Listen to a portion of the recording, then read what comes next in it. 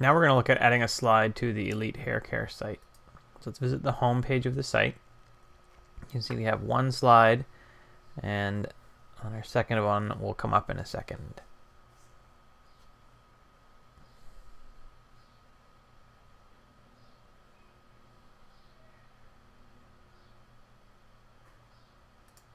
Or do we only have one slide right now? You can see I didn't, didn't wait quite long enough. There we go. And there's our next slide. So I'm going to trash this slide. And I'm going to create a new one. So we're going to put the title of our slide in here. It's going to be our second test slide.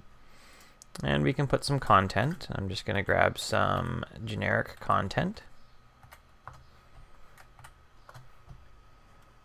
So there is a limit on how much, how many words we can put in here.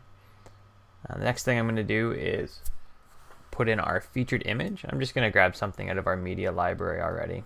I'm going to grab that careers image and use it as our featured image.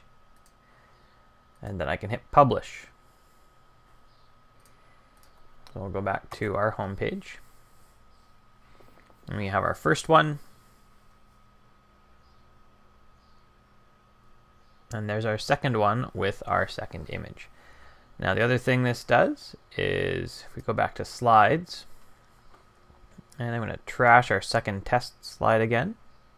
So we only have one now.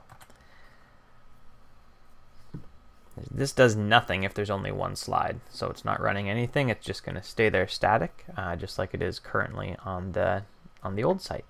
That's how you work with the slides for Elite Hair Studio.